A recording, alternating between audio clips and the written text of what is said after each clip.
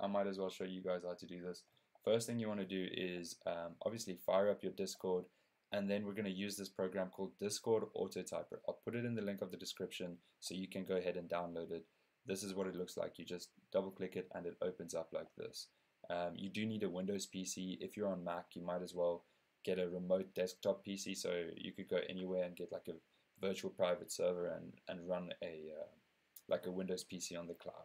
So what we do is once you've got the actual Discord typer running, you need to go and populate it with stuff to say. So for, for just testing purposes, let's go testing one, testing two, and every time you hit a new line, that that's a new line that it'll automatically inject. So let's go testing three.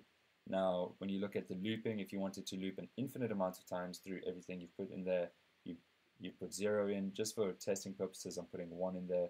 And line delay is the amount of delay it takes before it actually sends a new message. So let's make that 20 seconds. We'll say it will loop through once, um, and then the hotkey to start is F8. What you need to do is you need to make sure that your mouse is over here and selected in the actual chat text so that you can just go ahead and press F8 and it should just boom fire off the first message there we go testing one and as you can see the countdown has started for the next line so it will just keep counting down all the way to the next line and then when it counts down to the next line it will actually send the next message in there so here we go three seconds two one and it should fire away testing two boom and you just keep doing that. That's how you can farm XP on the Discord server, and uh, I hope this video has helped you.